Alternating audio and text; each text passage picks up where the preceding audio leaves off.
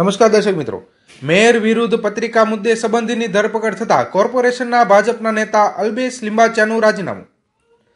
મેયરની વિરુદ્ધ પત્રિકાના મુદ્દે વડોદરા મ્યુનિસિપલ કોર્પોરેશનના ભારતીય જનતા પાર્ટીના નેતા અલ્પેશ લિંબાચિયાના શાળાના અને અન્ય એક વ્યક્તિની ધરપકડ થતા બાદ પક્ષના નેતા પદેથી અલ્પેશ લિંબાચાએ રાજીનામું આપી દીધા હોવાની જાહેરાત. વડોદરા શહેર પ્રમુખ ડોક્ટર વિજય શાહે કરતા રાજકીય ચર્ચાનો વિષય બન્યો છે. વડોદરાના મેયર નિલેશસિંહ રાઠોડની વિરુદ્ધ પત્રિકા બહાર પડી હતી.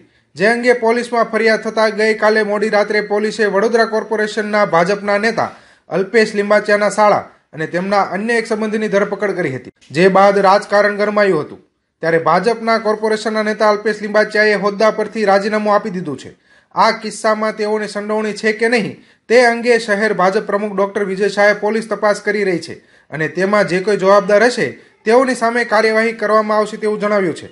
અત્રે યાદ આપવું જરૂરી છે કે કોર્પોરેશનમાં ભાજપ પક્ષના નેતા તરીકે અધ વચ્ચેથી મુદત પૂરી થતાં અગાઉ રાજીનામું આપ્યું હોય તેવો આ પ્રથમ કિસ્સો બન્યો છે.